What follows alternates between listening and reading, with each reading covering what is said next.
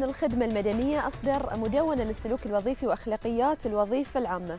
المدونة أصدرت بتوجيهات من مجلس الوزراء وبالتعاون مع وزارة شؤون مجلس الوزراء وعدد من الجهات الحكومية. تضمنت المدونة التزامات الجهة تجاه الموظف التزامات الموظف العام وتضمنت أيضا قواعد التعامل مع وسائل التواصل الاجتماعي. طبعا أسئلة وايد في بالنا حول المدونة. بيجيب عليها الأستاذ هيثم علي ناس رئيس قسم أداء وعلاقات الموظفين بإدارة أداء وعلاقات الموظفين بديوان الخدمة المدنية. مساء الخير أستاذ هيثم. هلا مرحبا. مساء النور الشيخ هلا. بداية أستاذ شنو أهداف مدونة السلوك الوظيفي اللي أصدرها الديوان مؤخرا؟ نعم. في البداية أحب أشكركم على إتاحة الفرصة لديوان الخدمة المدنية بالحديث عن تطبيق أحكام مدونة القواعد السلوك الوظيفي وأخلاقيات الوظيفة العامة.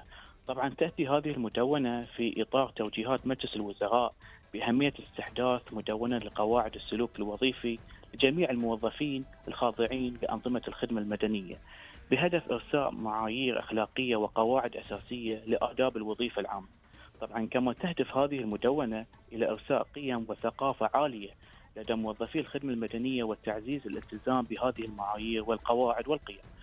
وترسيخ أسس الممارسات الجيدة وذلك من خلال توعية موظفي الخدمة المدنية وتوجيههم نحو الأخلاقيات الوظيفية السليمة وأطر الانضباط الذاتي التي تحكم سير العمل في الخدمة المدنية والمنسجمة مع القوانين والأنظمة السارية وكذلك من خلال بيان واجباتهم ومسؤولياتهم الوظيفية ودورهم وتحسين الخدمات تعزيزا للمصداقية بالخدمة العامة.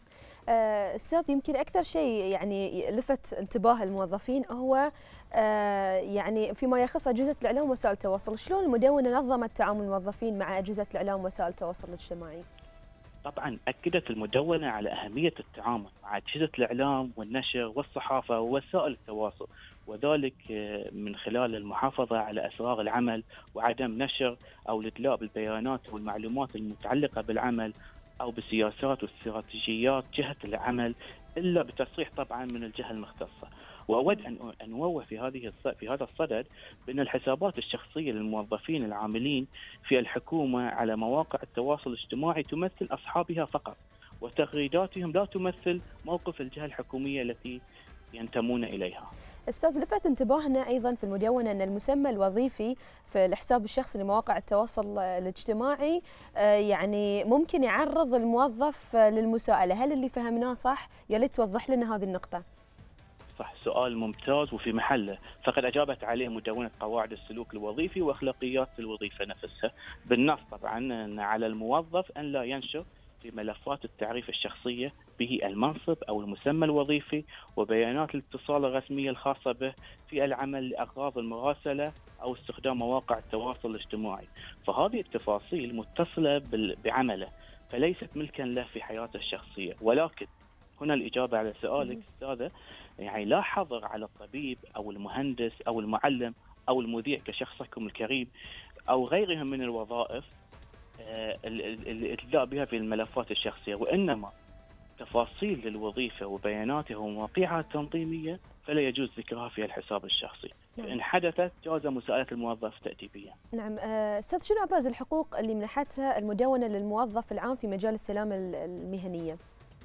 طبعا أبرز هذه الحقوق للموظف الحق في أن يعلم بشكل مفهوم وكافي كافة الأخطار التي يمكن أن يتعرض لها بسبب العمل بما في ذلك الآثار والانعكاسات الصحية الناجمة عن هذا التعرض والحصول على التدريب الملائم لتلافي هذه الأخطار نعم. إضافة إلى هذه الحقوق للموظف حق الحصول على مختلف معدات وتجهيزات الحماية الشخصية المحددة للوقاية من التعرض لهذه الأخطار وأي خدمات ومتطلبات صحية ووقائية ذات الصلة بالحماية دون أن يترتب على ذلك أي تكلفة مادية، نعم. كما يجب على الموظف الابتعاد من تلقاء نفسه عند التعرض لخطر وشيك للوقوع بشكل يهدد سلامته الصحية، وأختم هذه الحقوق طبعا بحق ابلاغ ديوان الخدمة المدنية إذا اعتقد الموظف وجود قصور في إجراءات الصحة والسلامة المهنية المتبعة في مكان عمله.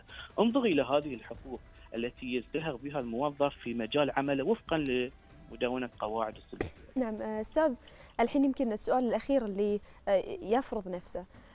هل شؤون المدونة تضمن حق الموظف العام في الدفاع عن نفسه في حال تعرضه للمساءلة من قبل مسؤوله المباشر خاصة أنه يمكن أحيانا يعني المسؤول المسؤول مثلا يفهم الموظف خطأ أو يصير في سوء في سوء تفاهم؟ شلون المدونة تضمن حقه في الدفاع عن نفسه؟ طبعا سؤال وجيه وما تضمنه بس المدونة فحسب بل أن الضمانات متوفرة للموظف بقوة القانون.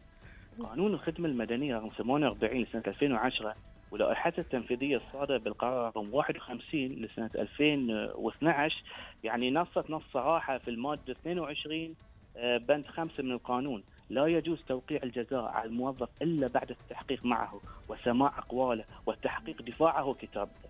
فمن هذا المنطلق فإحنا يعني وجب أن ننوه لكافة الرؤساء والمسؤولين فإنه لا يجوز توقيع أي جزاء على الموظف قبل إحالته إلى المساءلة التأديبية من خلال لجان تحقيق عادلة تتراسها بكل نزاهة وشفافية.